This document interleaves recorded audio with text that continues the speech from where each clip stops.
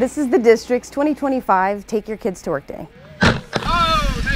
We have nearly 100 kids registered and attending in Brooksville. And we have 17 in Tampa. You're going to go and you're going to get to see what a lot of your parents do. Some of it actually percolates or moves down through the soil and into the aquifer. We go out and collect water. We put it in bottles. We are collecting information or data about the water. We're gonna look, I call them bugs, but they're actually called macroinvertebrates. We're gonna look at some of the things that live in the water.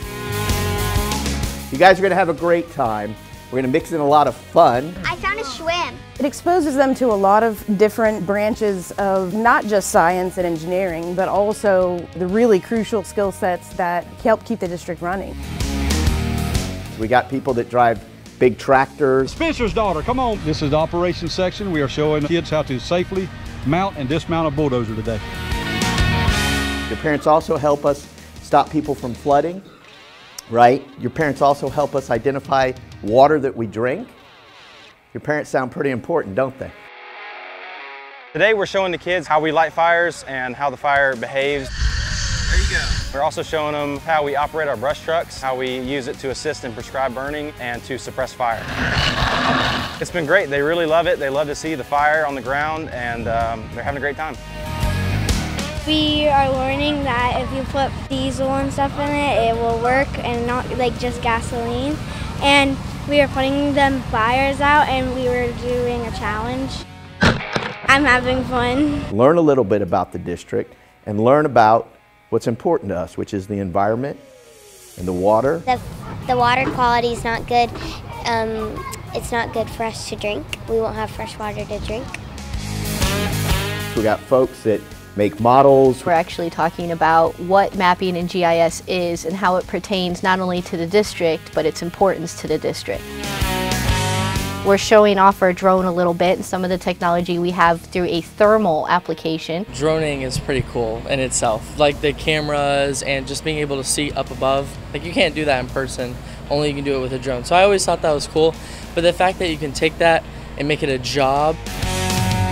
We're having the kids draw out a design of their choice, then we're having them build their design using Legos.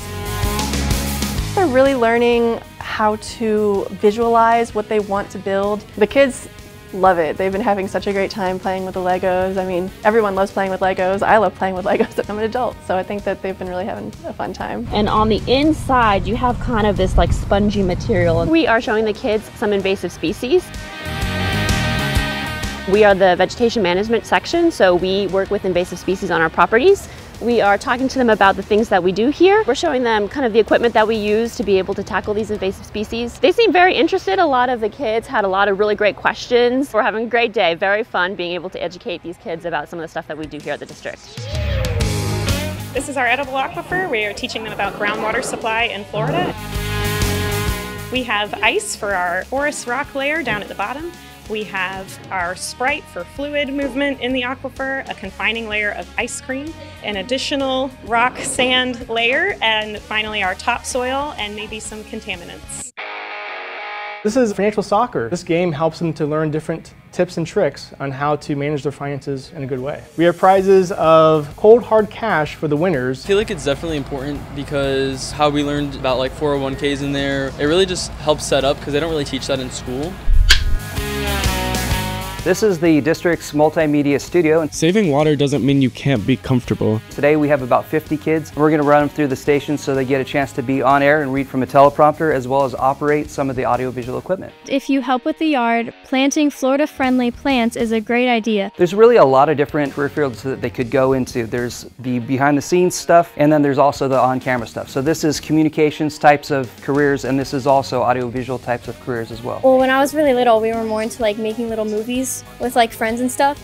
And as I've gotten older, it's become more of like a wanting to become not as much like a director, more of like cinematography and like photography and stuff like that. And all of this makes it look awesome, makes me want to do it more. Thanks, Thanks for, for, watching and stay water smart, Florida. And this refrigerator in particular right now is at 2.3 degrees Celsius. Very hot in here. We're going to simulate an oil spill I'm going to teach them how to use transfer pipettes, and we're also going to use centrifugal force to do a spiralized painting. And we're going to play with hydrophobic sand, which is probably the most exciting part because that's sand that doesn't get wet. I'm getting a lot of wow and a lot of ooh. So, so it, it's a lot of uh, a lot of amaze, amazement from the kids. The turnout was amazing today. The kids have all had a really great time. I can't thank the staff and parents enough for bringing their kids and exposing them to such a cool thing. I think that our Take Your Kids to Work Day is kind of like no other.